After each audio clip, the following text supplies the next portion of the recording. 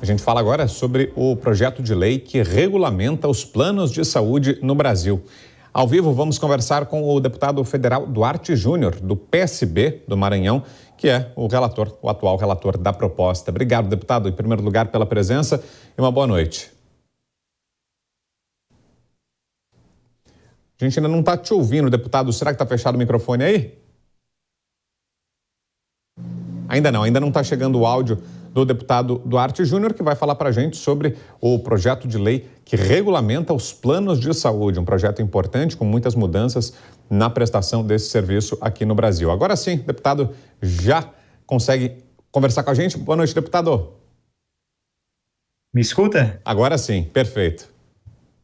É um prazer falar contigo, falar com todos aqueles que acompanham aqui a enorme audiência da rede Jovem Pan News. É um prazer falar com todos vocês. Obrigado, deputado. Em primeiro lugar, para começar a conversa, queria que o senhor nos explicasse a quantas anda, em que pé está o projeto, qual é o atual momento da tramitação aí na Câmara dos Deputados e o que é que muda na vida do usuário, do beneficiário do plano de saúde, deputado.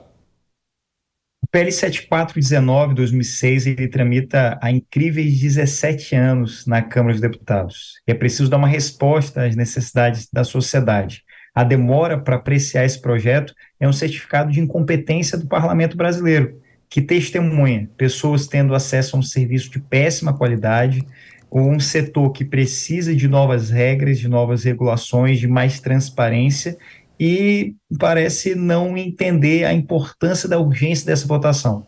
Foi por essa razão que o presidente Arthur Lira no mês de junho, me convidou, levando em consideração a minha experiência como advogado, fui advogado de empresa de plano de saúde, presidi o PROCON do Estado do Maranhão por quatro anos, presidi os PROCONs do Nordeste, e com toda essa experiência enquanto advogado, professor, atuante na defesa do consumidor, é, peguei esse projeto que tramita, como já disse, há 17 anos, e dialoguei em todas as regiões do país, onde fizemos audiências públicas na região sudeste, no Rio de Janeiro, em São Paulo, na região norte, é, na cidade de, de Manaus, é, na região sul, em Porto Alegre, na região nordeste, aqui na minha cidade, em São Luís, capital do estado do Maranhão, mas também na cidade de Recife, em, em Brasília, na região centro-oeste, com dezenas de audiências na Comissão de Defesa do Consumidor, da pessoa com deficiência, várias reuniões, ouvindo a todos aqueles que influenciam e, de algum modo, são influenciados, foram levados em consideração todos os seus é, depoimentos, todas as suas experiências,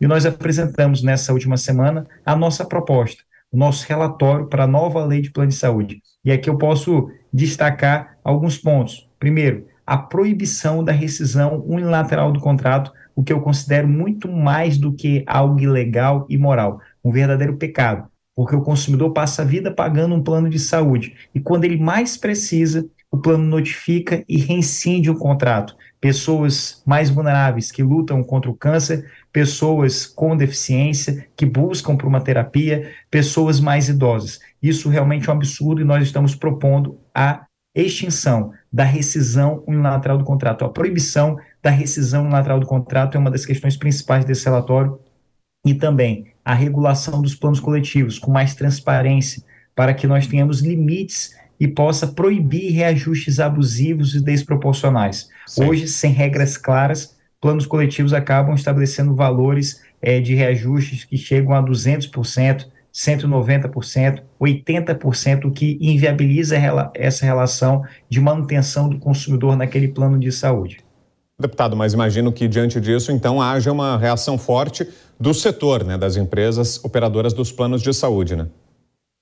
Olha, é natural que haja uma reação, mas tem também questões muito significativas que foram trazidas pelo setor para o nosso relatório, para essa proposta da nova lei de plano de saúde. Exemplo, o, o relatório traz o prontuário único, prontuário único que traz mais transparência, que é um prontuário onde toda a vida do consumidor, do usuário do serviço de saúde, do sistema único que reúne o sistema público e o sistema privado, para que nós possamos evitar desgastes desnecessários do consumidor, possamos aproveitar aquele exame que foi feito, por exemplo, no setor público e não seja repetido de forma desnecessária é, no setor privado, e aqui eu posso ilustrar quando um cidadão ele sofre um acidente, ele vai para um serviço de urgência e emergência no setor público, faz uma tomografia, e aí descobrem que ele tem um plano de saúde, encaminham ele para uma clínica, um hospital privado.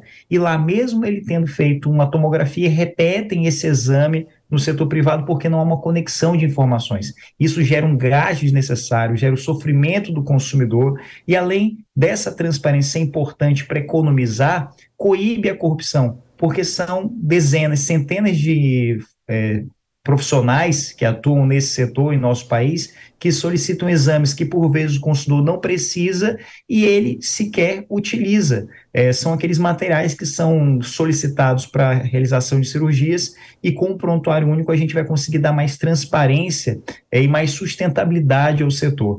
Estamos também é, propondo a retirada de intermediários para que possa ser possível a relação direta entre o cidadão e a empresa de plano de saúde. Sem esses intermediários, não há necessidade de pagamento de comissões e, com certeza, há também uma redução de custo. Esse relatório, ele, ele, eu entendo como algo harmônico, que traz, sim, mais direitos, mais benefícios ao consumidor, mas também certo. traz questões como essa que eu destaquei, como prontuário único, que garante mais sustentabilidade ao setor.